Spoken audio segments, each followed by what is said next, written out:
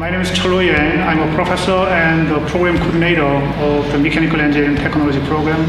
Mechanical Engineering Technology program is a hands-on and real-world application-based program for which we teach our students based on the hands-on labs. One of our strengths of uh, our program is that we have a very good uh, faculty members. They all have several years of industry experience. While they work in our companies, they realize good understanding or education of the engineering concepts are very important. 3D printing is one of our important courses. Almost all engineers and companies use a 3D printing technology to build their prototypes. Most of our graduates are ready to start their job in industry at the moment of their graduation.